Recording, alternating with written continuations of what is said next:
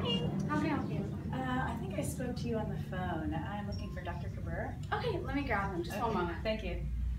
Your patient wants to see you. Sure, bring her in. Right in here.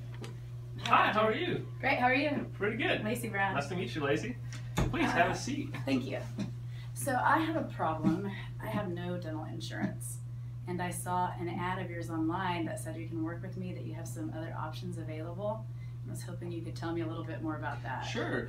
You know, so uh, we see this problem all the time with the Mhm. rising cost of healthcare. A lot of our patients don't have dental insurance.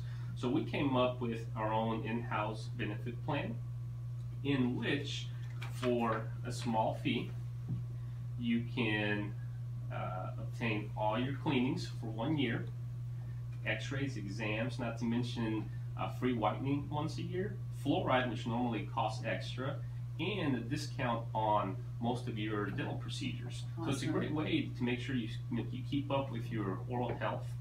And you can also include your family at a discounted rate. So it's definitely So I can Uh, add my children tool. to this. Absolutely. So it's Very definitely cool. a great tool for all our patients, you know, and especially in today's market with the rising cost of healthcare. So definitely worth taking a look at. And if something that interests you, I'll go ahead and have Sophia get you signed up and we'll go from there. Yeah, sign me up. This sounds awesome. This is exactly what I need. Perfect.